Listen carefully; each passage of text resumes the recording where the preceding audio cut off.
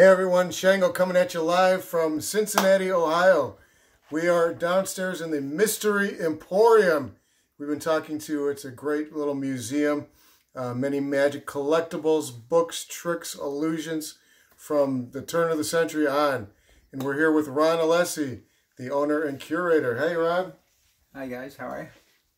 We're so happy to have you um, here on my show, and thank you, uh, John, for your introduction. I know you've had fun talking with, Yes. you know, Ron, and I've met you just a couple of times, but we just really appreciate everything you've done. You've been a curator for how many years now? Well, this is about 45 now.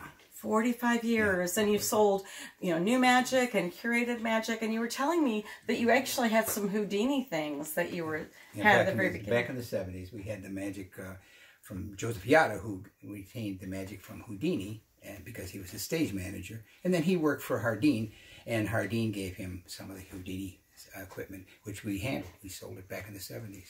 Fantastic. And then throughout the years, you've, you know, curated all kinds of things. You've had an online sale, you've sold catalogs, you've had stores, but you're transitioning now into something new, which I think is wonderful.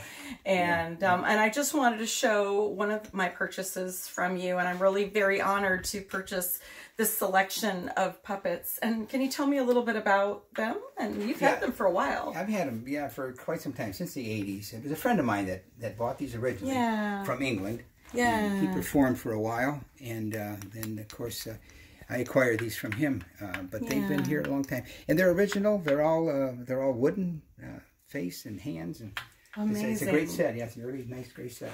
Oh, well, I can't wait to, you know, share these with the world and, you know, certainly be a museum piece, but I really think I'm going to be uh, performing with these and all my friends in Colon, Michigan, the magic cool. capital of the world. cool. Well, who knows where we'll take them.